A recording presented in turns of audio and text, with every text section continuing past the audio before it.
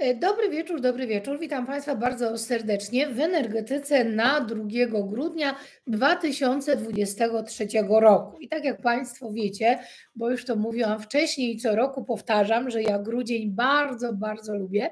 Dlaczego lubię? Że sama wibracja grudnia jest trójką, tak? Czyli dużo rzeczy powinno nam się udawać i jeżeli oczywiście będziemy mieli dobre myślokształty, również inni ludzie powinni nam sprzyjać i prezenty od losu nie tylko na Boże Narodzenie, ale ogólnie powinniśmy dostawać, tak?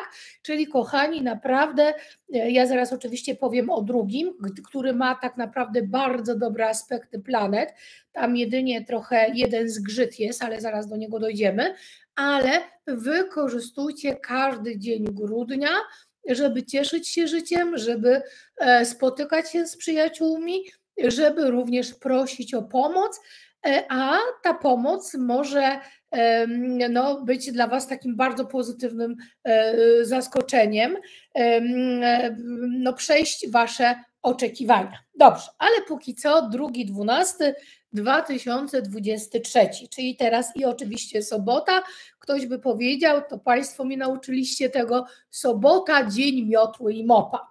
Czy to będzie sobota do mopowania, zaraz sprawdzimy. Natomiast tak, e, wibracja z dnia, czyli nie całego, całej daty, tylko dnia dwójka.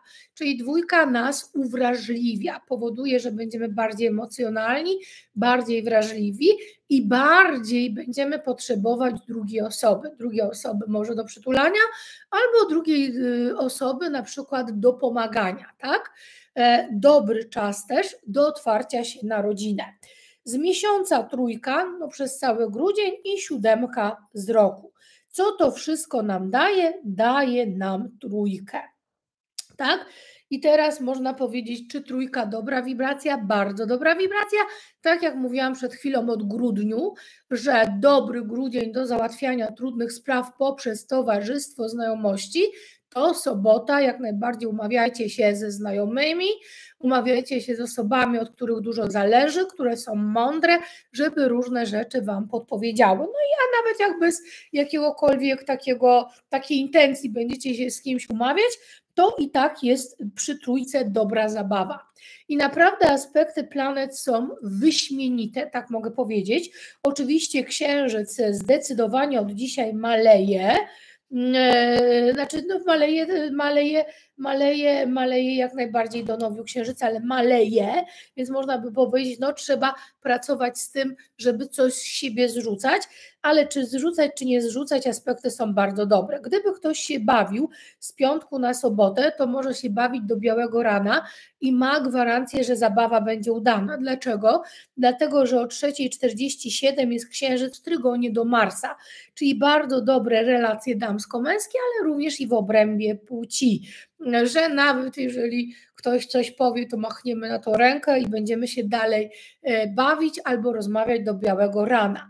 Rano, rano jest zły aspekt, bo możecie się obudzić w złych humorkach, bo o 6.44 księżyc w kwadraturze do Jowisza i z igły zrobić widłę, czyli nie robić z igły widły, do południa spać, żeby trudny aspekt planet przespać. No i później o godzinie 12.44 mamy księżyc w trygonie do Słońca. Czy to jest bardzo dobry aspekt? Bardzo dobry aspekt. Będziemy się sami dobrze ze sobą czuć, bo Słońce świadomość, księżyc podświadomość, ale również w relacjach damsko-męskich też będzie dobra, e, dobra, dobra energia, bo księżyc, kobieta, mężczyzna, słońce i są w trygonie, czyli dobrze ułoże, ułożone. Natomiast dobre przemyślenia, dobre gadania, dobre pomysły późnym popołudniem, 16.26, Merkury w sekstylu do Saturna, czyli dobre przemyślenia, dobre rozmowy na temat pracy, nawet nie, nie z współpracownikami, ale coś rodzinnie możemy wymyśleć, może coś przeczytacie i coś zastosujecie, może kogoś posłuchacie, ale myślcie, działajcie i swoje myśli wtedy zapisujcie.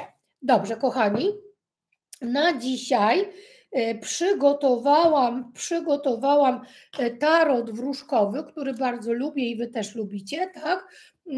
Everyday Witch Tarot, bodajże tak się na, na, nazywa. Z tego co pamiętam, Kacper na pewno będzie pamiętał i, i Państwu napisze, ale myślę, że to tak. Nie mam od niego oryginalnego pudełka, bo mi się zniszczyło albo może gdzieś zgubiło, bo to już też któraś talia z tej, z tego, z, z tej nazwy tarota ale myślę, że dobrą nazwę podałam. I zaczynamy, kochani, od skorpiona, czyli co dla skorpiona na 2 grudnia, co dla skorpiona? Dla skorpiona król mieczy, czyli bardzo dobra karta po pierwsze, król mieczy y, oznacza mężczyznę, czyli sprawy związane z mężczyzną ważne i nie muszą być one uczuciowo, mogą być z mężczyzną jako autorytet. Czyli może, jeżeli macie jakiegoś mądrego mężczyznę e, w swoim otoczeniu, no to warto by było z tym mężczyzną na przykład porozmawiać, prosić o radę. Y, mężczyzna jako autorytet może być, nie wiem, nasz ojciec,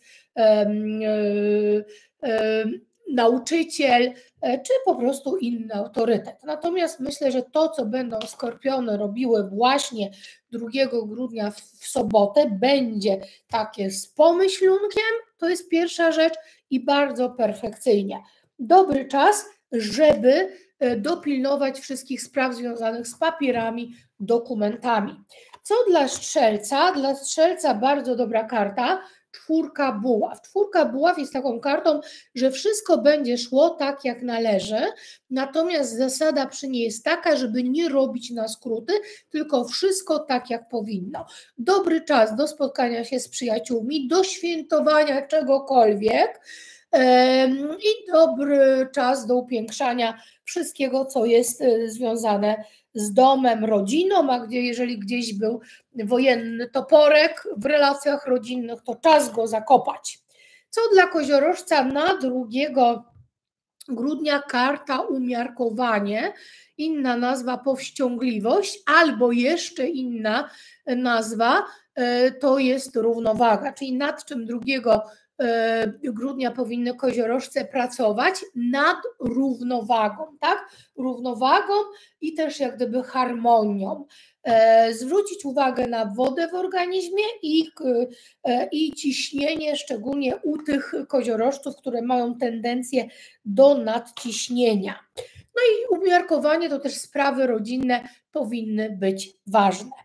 Co dla wodnika na sobotę, na sobotę dla wodnika karta głupiec. Karta głupiec ma numer 0, tak? Ja bardzo często w energetykach o tym mówię, czyli 0 oznacza możesz ten dzień zapisać wodniku jak chcesz, bo masz kartę zero, carte blanche. Ale na co stawiaj? Na spontaniczność, na głupawkę, na zabawę. Przebywaj z osobami radosnymi. Sprawy związane z dzieckiem, dziećmi mogą być w tym dniu ważne. Co dla ryb? Dla ryb piękna karta, karta cesarzowa. Cesarzowa silna karta, mówiąca o tym, że będziecie miały siłę, energię, moc i będziecie wywierały wpływ na wiele osób. Może w Was się odpalić rządzicielstwo, no i możecie sobie jak najbardziej porządzić. Dobra do spraw uczuciowych, e, zarówno takich, żeby sobie z dzióbków jeść, jak i seksualnych, ale też dobra do różnych ruchów zawodowych. No w sobotę pytanie na ile zawodowe, ale może na przykład decyzji finansowych. No i karta kobieca, sprawy związane z kobietą mogą być dla Was ważne. Co dla barana? Dla barana pracowity rycerz pentakli, czyli inaczej denarów, czyli wasz dzień barany powinien być wypełniony pracą, z której będziecie bardzo zadowolone. Może efektów wow od razu nie będzie widać, ale naprawdę jesteście w stanie nadgonić wiele rzeczy. Ta karta, karta męska, to już wiecie, to znacie tą zasadę, że jak wychodzi karta męska, to mogą być też sprawy związane z mężczyznami ważne. Co dla byka? Dla byka ósemka pucharów, jest to mały eremita, ja tak o tej karcie mówię. I co to oznacza? Bardzo dobry czas do odizolowania się i ja bym powiedziała z dystansem e, spojrzenia na wiele spraw, być może przemyślenia, ochłonięcia, nie wchodzenia w emocji, zajęcia się swoim wnętrzem i wyciągania wniosk, wyciąganiem wniosków z przeszłości, aby czy w sobotę, czy w przyszłości nie popełniać tych samych błędów. Co dla bliźniąt na sobotę? Dla bliźniąt na sobotę sąd ostateczny, czyli szybka karta opozycja do Wisielca, czyli dużo się będzie działo, nie wiadomo w co ręce wziąć, włożyć. Tu jakieś wiadomości, o czymś się dowiemy, może ktoś będzie chciał nasze plany zmienić. Natomiast hasło działaj szybko, akcja, reakcja, bo później może być za późno. Czy jak zakupy, jak coś ładnego widać, od razu kupować, nie czekać, bo wykupią. Tutaj też dobra karta do jakichś takich ważnych e, rozmów, czyli też można sprawy stawiać na ostrzu noża. Co dla raka na sobotę? Karta kochankowie. Karta kochankowie dwie rzeczy, a w zasadzie trzy. Dobra do spraw uczuciowych, zarówno uczuciowych w sensie miłości, jak i fizycznych, seksualnych. Dobra do podróży, czy planowania jej, czy wyruszenia w nią. Minus przy tej karcie może być trochę niezdecydowanie. Być może e, w jakiejś dziedzinie nie będziecie e, wiedzieli, jaką decyzję podjąć. Tak, to jest taki rozkrok przy przy, przy, przy, przy kochankach, nie wiadomo co wybrać. Co dla lwa na sobotę? Królowa Pucharów, jedna z najpiękniejszych, najbardziej romantycznych, najbardziej e, z największym urokiem osobistym, czyli takie będą lwy 2 grudnia w sobotę. No i należy to wykorzystać. To jest też dobry czas do upiększania siebie, do upiększania miejsca, do nakupowania ładnych albo dobrych, na przykład też do jedzenia rzeczy. Co dla panny? Dla panny karta gwiazda, czyli będziecie miały bardzo pozytywną energię i nie jedna osoba powie, ale fajną energię macie, jaka pani jest taka ciepła, albo jaki pan jest taki dobry, tak? Gwiazda też otwiera na zdolności ezoteryczne, e, artystyczne i wszelakie tworzenie. Upiększajcie świat, upiększajcie siebie, upiększajcie swój dom. I karta ostatnia na sobotę dla wagi. Co uwagi? Uwagi, nie najlepsza karta, dziewiątka mieczy.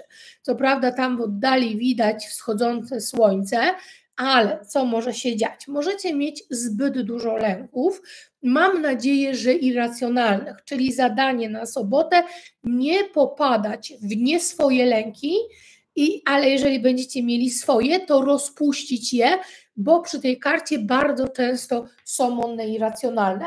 I tutaj może być też problem ze spaniem.